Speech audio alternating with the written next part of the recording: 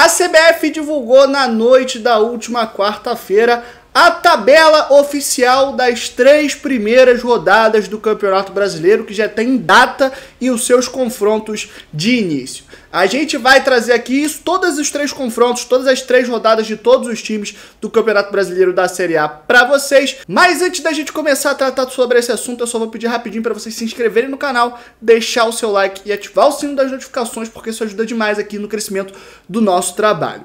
Enfim, sem mais delongas, bora aqui apresentar para vocês as três primeiras rodadas oficiais divulgadas pela CBF do Campeonato Brasileiro. Lembrando que os jogos eles têm apenas uma referência de três dias. Por exemplo, os jogos de fim de semana ainda não estão definidos quais serão sábados, domingos ou então o jogo da segunda-feira, nem os horários das partidas, mas já está ali bem especificados que essa rodada será no final de semana e a ordem dos confrontos certinha.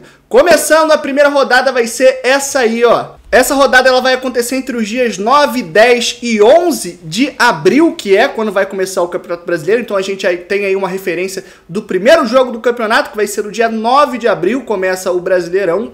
E logo de cara a gente vai ter um jogaço entre Atlético Mineiro e Internacional, o atual campeão brasileiro contra um dos times grandes aqui do Brasil. É claro que vai ser um jogaço. Logo depois a gente vai ter um Fluminense contra o Santos, outro bom jogo, outro confronto entre duas equipes grandes. Um São Paulo e Atlético Paranaense, que já foi final de Libertadores.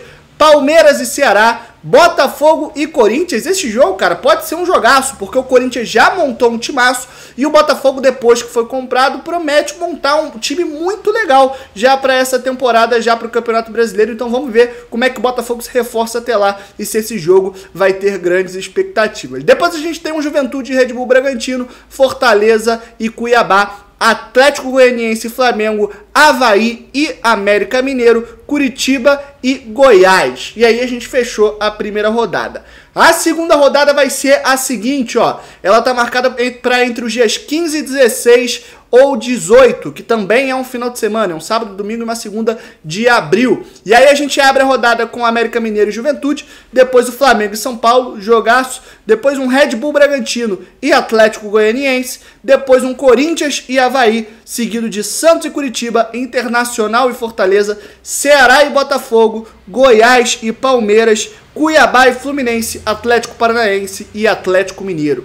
E aí, por último, a última rodada divulgada pela CBF, lembrando que ela só divulgou as três primeiras, e a terceira vai ser a seguinte, ó. Ela vai rolar ali nos dias 23, 24 e 25, também é um sábado, domingo e uma segunda, e começa aqui com um Atlético Mineiro e Curitiba, seguido de um Fluminense Internacional, um Red Bull Bragantino e São Paulo, Palmeiras e Corinthians, ó, já um clássico na terceira rodada. Santos e América Mineiro, Juventude e Cuiabá, Fortaleza e Ceará, Atlético Goianiense e Botafogo, Havaí Goiás e Atlético Paranaense e Flamengo. Tá aí, as três primeiras rodadas divulgadas pela CBF. Já já ela vai detalhar cada vez mais, colocando bonitinho ali quais dias e quais horas, em quais horários serão esses confrontos, além, obviamente, do restante da tabela oficial. Enfim, a gente já tem clássico na terceira rodada, tem vários confrontos entre times grandes em todas as rodadas, vai ser bem divertido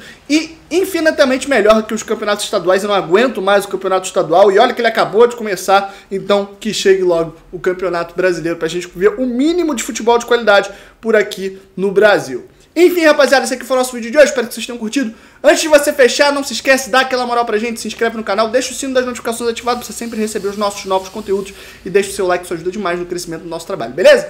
É isso, rapaziada. Vejo vocês no próximo vídeo. Até lá, um abraço, tamo junto, valeu!